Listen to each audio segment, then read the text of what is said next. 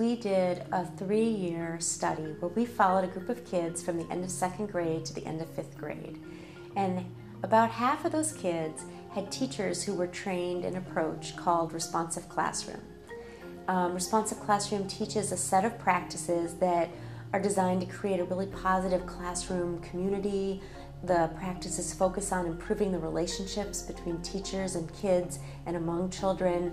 Uh, the practices are designed to teach children self control and autonomous behavior and to give kids a set of skills that really help them take charge of their own learning. And so, what we learned is after children had received those practices after three years, that they actually showed improvements in their math and reading scores at the end of three years. The actual strategies that the teachers are taught aren't focused on math content or reading content.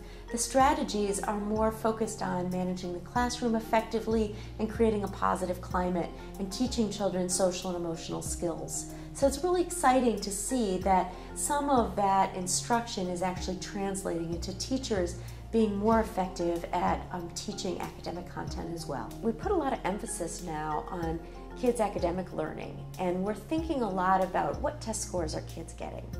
And it's a lot, it's, it's a lot of focus on the end goal.